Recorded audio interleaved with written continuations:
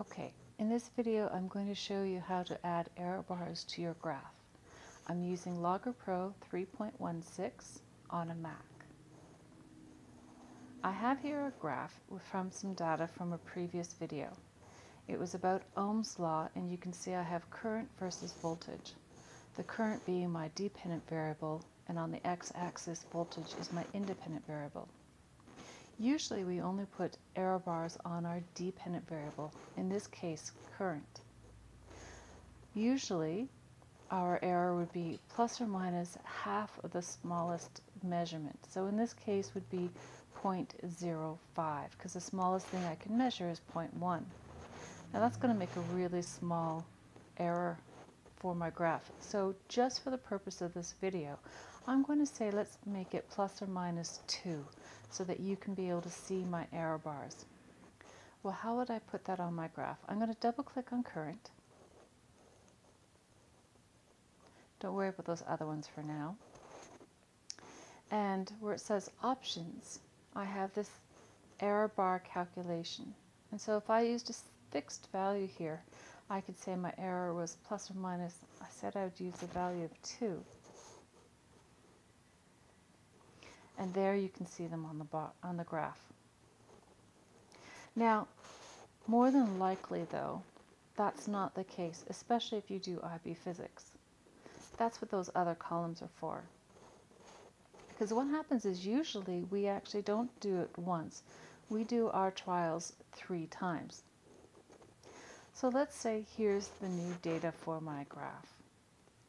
I've for each of these voltages, I tested the current three separate times. And what I should do then is calculate my average. Now if I want to get an error from here, we're going to use the range by 2 method because there's probably reasons that I have variation beyond just what I can read on my ammeter when I read the current you can see in the first one, my lowest value here was 17.6, but it was actually as high as 20.2. So there are probably other things about my apparatus or how I took my measurements that are causing errors beyond my actual measurement tool. So how do we come up with an error? What we do is we do the range, which is the highest value minus the lowest value, and we divide that by 2 and we'll use that as our plus or minus or our uncertainty. That's what I've done for each of these. Remember, each time I want to do these columns, in this case current, I got Logger Pro to calculate it for me. So what did I do? I went data, calculated column, and then I said add the three columns together.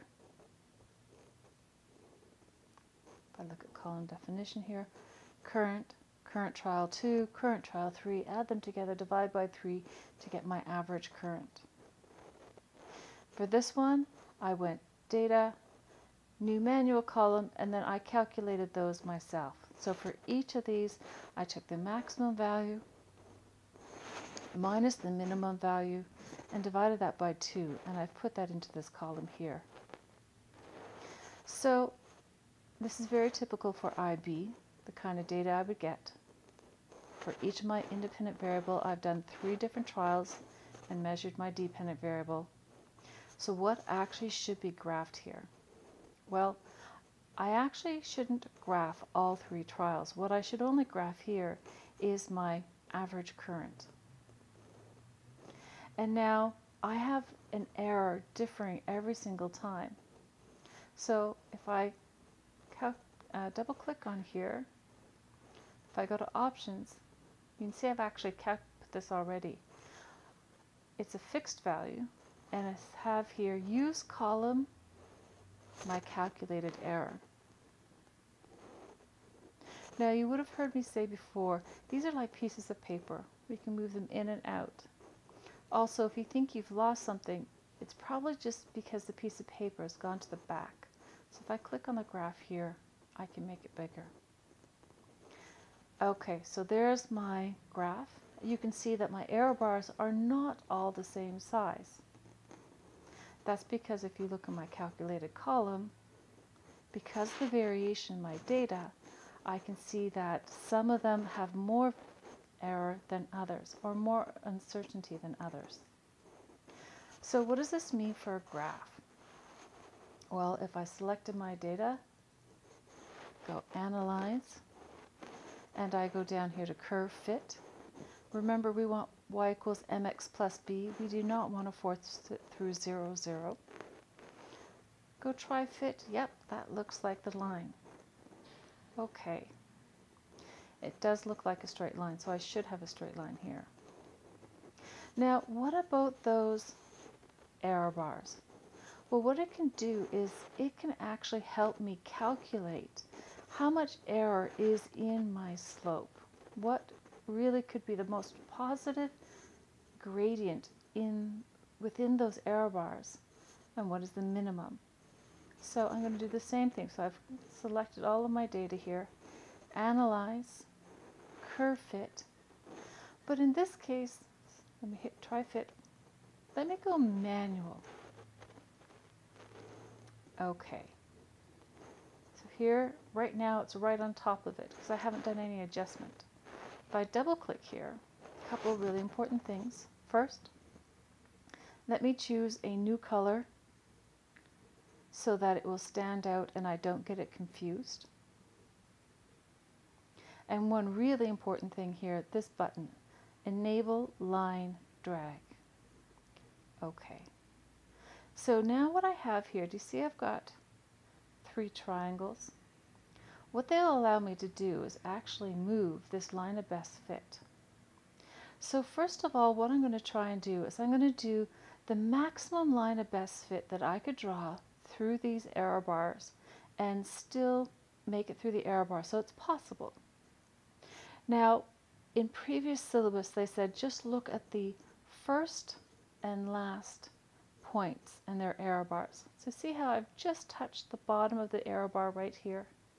And up here, I'm going to move this so I just hit the top of it. Now, what's really important is that we look at the lines and say, does this still make sense? Now, if you take a look, I'm nowhere near this error bar or here.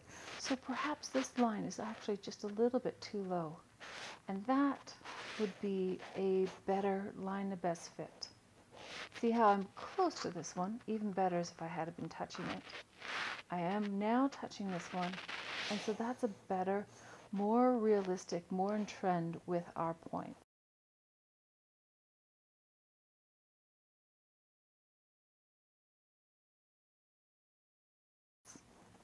Now, I've done the bottom here, and I've hit the top error bar here.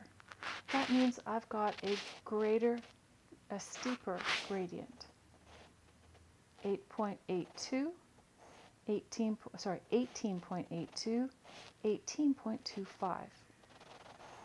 Okay, so now we're going to do the same thing, but now we want to do the minimum gradient. So curve fit, try fit, go to manual, OK. just click on this and drag it out of the way. Double click on it. Change my appearance to make it stand out. Let's make a nice green color this time. Enable line drag. And so if I want the minimum line of best fit now, I'm going to take it. Oh, you can see I just got the red there by accident. Oh, I still have the red. Let's move that one out of the way for now. Here we go. I'm going to now, for the minimum line of best fit, I want to go to the bottom of this error bar and to the top down here.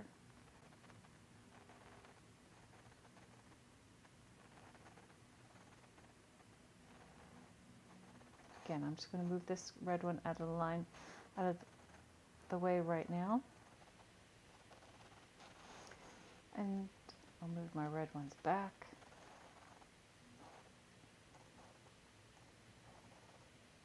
Now you can see that through my lines, the black one was the one that the computer gave to me.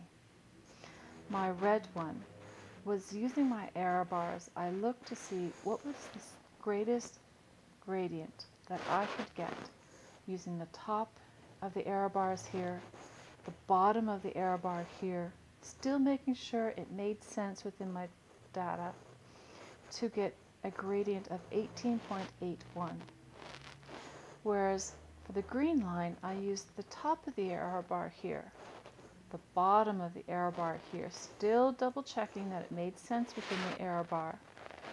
I've got a gradient of 17.81, which means that looking at my graph, my gradient of 18.25, remember it only has four significant figures because I've told it to have four.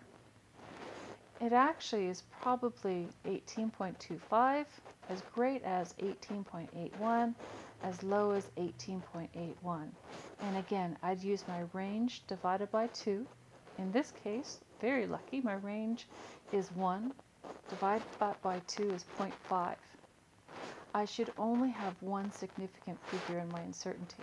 So that in this case would be 0.5. So I'm going to insert a text box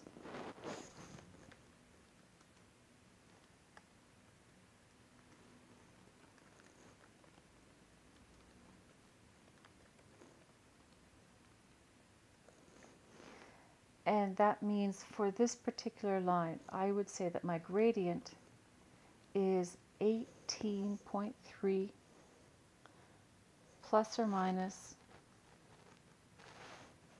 0.5. Notice that my gradient has to be rounded to match my uncertainty.